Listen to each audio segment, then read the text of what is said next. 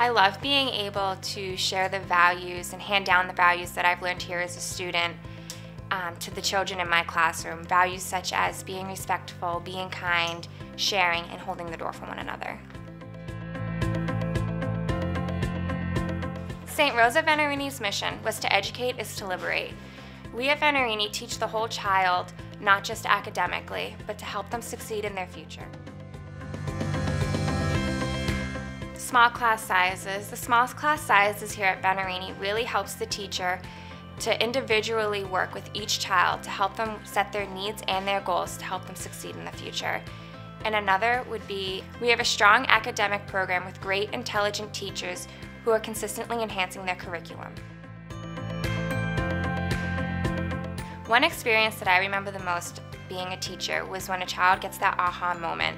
They're really excited and they just shout out, I get it, I know it. And that really inspires me because it teaches me that I am making a difference in not only their life, but all of my students' lives.